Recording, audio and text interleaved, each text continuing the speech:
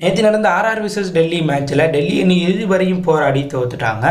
இந்த வீடியோவில் ரிஷப் பண்ண இந்த தோல்விக்கு என்னென்ன காரணங்கள் சொல்லியிருக்காரு அப்படின்னு தான் பார்க்க போகிறோம் முதல்ல இந்த மேட்ச்சில் பேட்டிங் ஆடிய ஆர்ஆர் அணி இருபது ஓவர் முடிவில் ரெண்டு விக்கெட் இழப்பிற்கு இரநூத்தி இருபத்தி ரெண்டு ரன் அடித்தாங்க அந்த அணியில் பட்லர் அறுபத்தைந்து பாலுக்கு நூற்றி பதினாறு ரன்னும் படிக்கல் ஐம்பத்தி நாலு ரன்னும் Sanjay Samson not out batsman நாற்பத்தி ஆறு ரன் அடித்தது அணி இவ்வளோ ரன் அடிக்க காரணமாக இருந்துச்சு. அதன் பிறகு களமிறங்கிய டெல்லி அணியில் படிக்கல் சஞ்சு சாம்சன் அதே போல் ஜாஸ் பட்டர் போல் ஒரு மிக சிறந்த ஆட்டம் யாருமே விளையாடலை.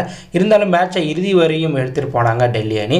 ஸோ இந்த தோல்விக்கு பிறகு பேசிய ரிஷப் பண்ட் ஸோ இந்த மேட்ச்சில் வந்து பார்த்தீங்கன்னா எதிரோடைய எதிரணியோடைய பேட்டிங் சூப்பராக இருந்துச்சு. அதுலேயும் ஜாஸ் பட்லர் சஞ்சு சாம்சன் படிக்கலோடைய பேட்டிங் சூப்பராக இருந்துச்சு. எங்கள் பவுலர்களை நல்லாவே வச்சு செஞ்சாங்க. அதே போல் நாங்கள் பேட்டிங் ஆடும்போது வந்து பார்த்தீங்கன்னா நாங்கள் இறுதி வரை மேட்ச்சை எடுத்துகிட்டு போகணும்னு நினச்சோம். எங்கள் பேட்ஸ்மேன்கள் நல்லாவே விளாண்டாங்க ஆனால் லாஸ்ட் ஓவரில் பவர் வந்து பார்த்திங்கன்னா மூன்று சிக்ஸ் தொடர்ந்து அடித்ததும் நாங்கள் ஜெயிக்க போகிறோம் அப்படின்னு நினச்சோம். ஆனால் அந்த நாலாவது பால் நோ பால் வந்து பார்த்திங்கன்னா மேட்சையே மாற்றிருச்சு அது கண்டிப்பாக நோ பால் தான். எல்லாருக்குமே தெரியும். அது நோ பால்னு ஆனால் அம்பேர் ஏன் அதை நோ பால் கொடுக்கல அப்படிங்கிறது எனக்கு இப்போ வரையும் தெரியல. ஸோ அதற்கப்புறம் தான் நாங்கள் மேட்சே லாஸ் பண்ணோம். அந்த அது வந்து அந்த பால் வந்து நோ பால் அம்பேர் கொடுக்கலங்கிறதையும் பவலும் வந்து பார்த்தீங்கன்னா பெருசாக அதுக்கப்புறம் விளாட முடியல. நாங்களும் தோத்துட்டோம்.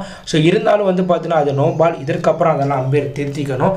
நாங்கள் வந்து இதற்கப்புறம் அதை பற்றிலாம் யோசிக்கல. நாங்கள் பிளேயர்ட்ட அதை தான் சொன்னேன். ஸோ இந்த மேட்ச் முடிஞ்சு போச்சு. அது நோ பால் தான். இதுக்கப்புறம் நம்ம எதுவுமே மாற்ற முடியாது. அடுத்த மேட்ச்சில் நம்ம இதை விட சிறந்த ஆட்டத்தை கொடுப்போம். நம்ம வந்து பந்தி வீச்சில் வந்து அதிக ரன்களை வாரி கொடுத்துட்டோம். அதை வந்து நம்ம கண்ட்ரோல் பண்ணணும். அதுக்கான வழிமுறையை பார்ப்போம்.